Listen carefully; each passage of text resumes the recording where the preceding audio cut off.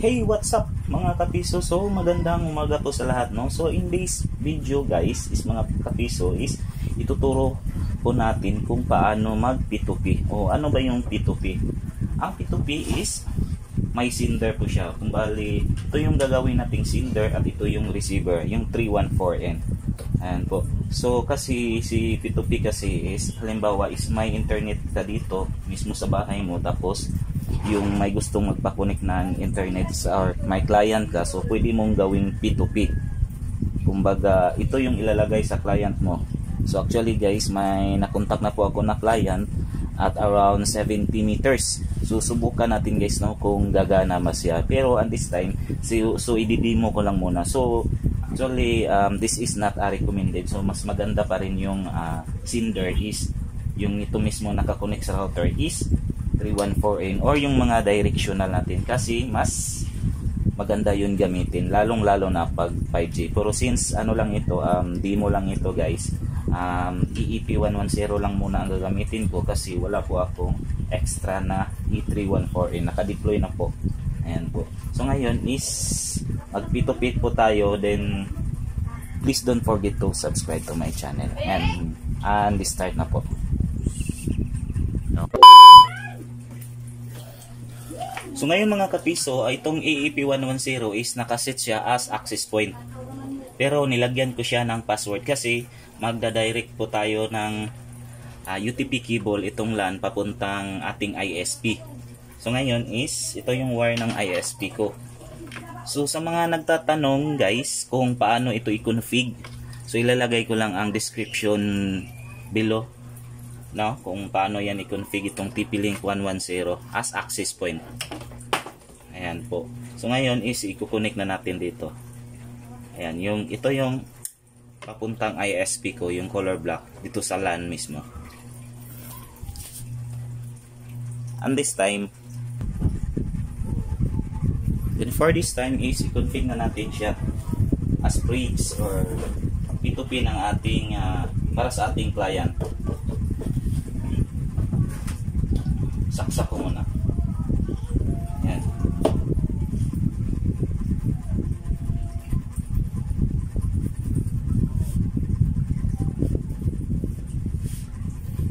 So, let's go for the configuration.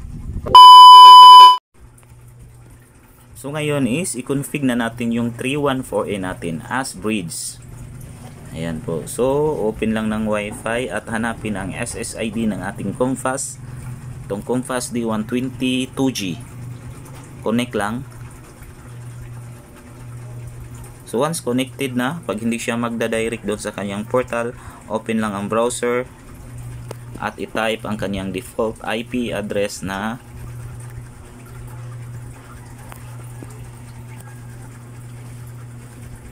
one nine two dot one six eight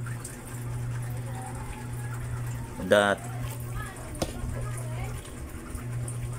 ten dot one.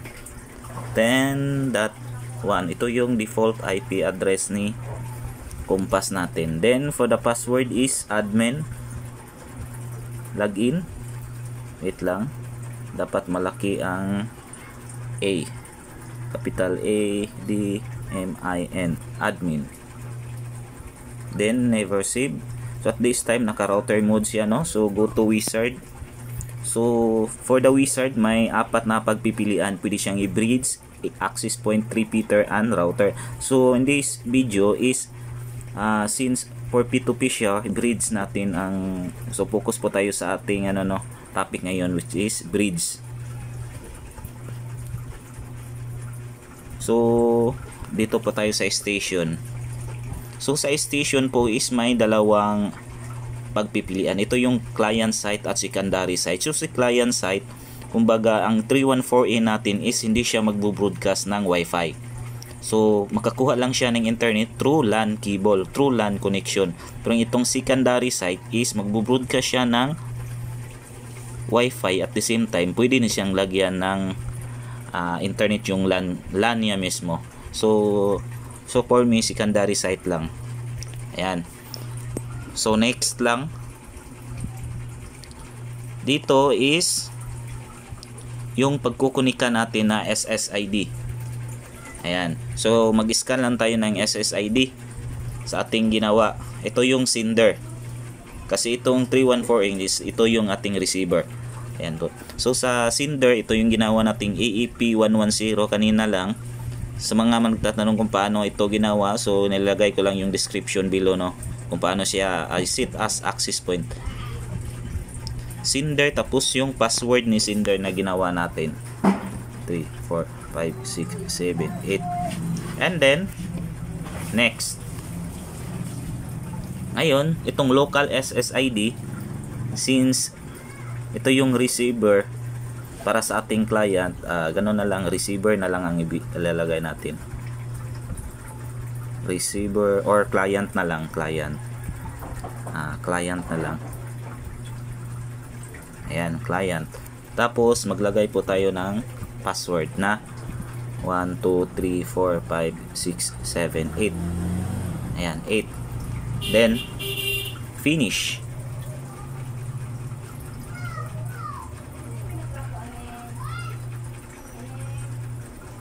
hintayin na lang natin na 100% na yung configuration na. Ayan, so it means 100% na yung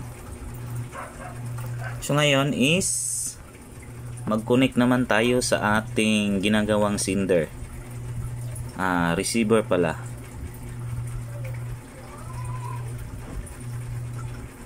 Ay, client. Ito yung client. Try nating mag-connect sa ating client kung may kung may internet ba. Password.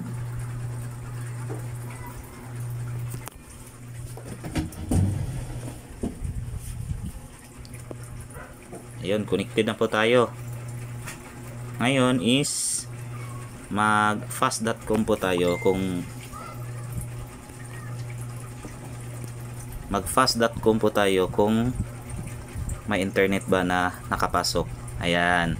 So it means successfully yung ating uh, configuration, uh, repeater. Kumbaga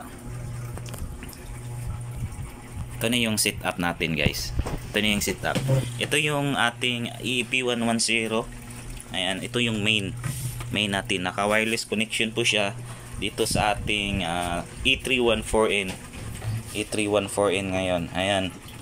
Ito yung sinasabi ko. Ito, naka wireless po siya at around 70 meters i-deploy natin siya mamaya. Ayan. So ngayon isubukan naman natin yung uh, mag-connect po tayo ng window dito mismo. Window dito mismo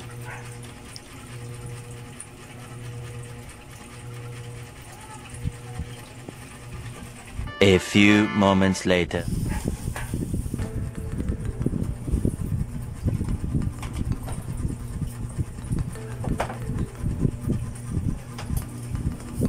Yun ko muna yung window ko.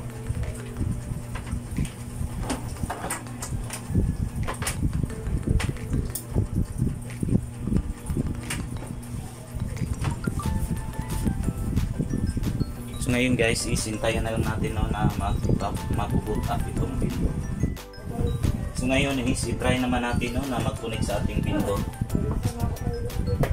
gamit itong P2P kasi dapat ito is nasa bubong.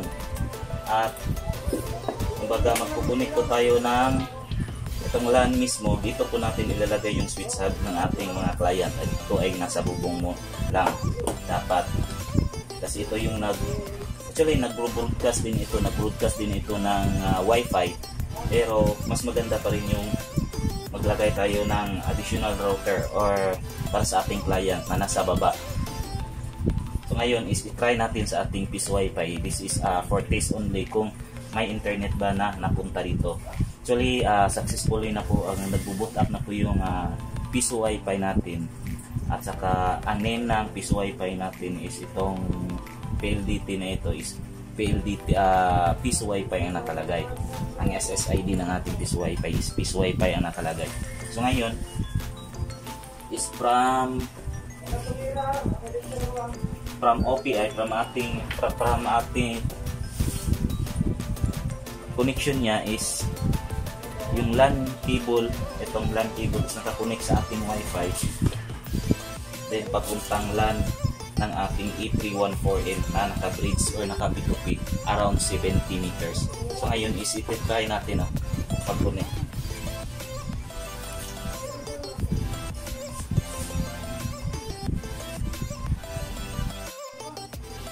Ngayon isubukan nating mag-connect sa ating uh, piso wifi. Ayan po ang ating piso wifi. So ngayon subukan nating mag-connect. Pangalan ng ating ginawa kanina is client. Ito yung ating naka P2P client. Pero ang pangalan nito, ang pangalan ng ating piso wifi is piso wifi. Connect natin. Tingnan natin kung may internet. Ayun, nadititik naman no. So ngayon mag-insert coin po tayo. Then subukan nating mag-internet kung meron.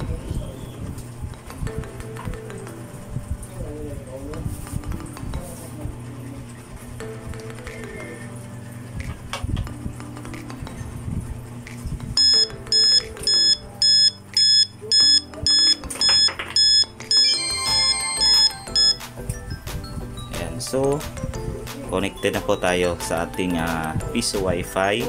At ngayon is subukan nating mag para sa ating speed test.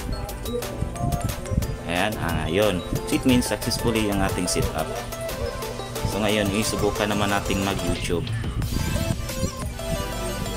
subukan nating mag youtube ayan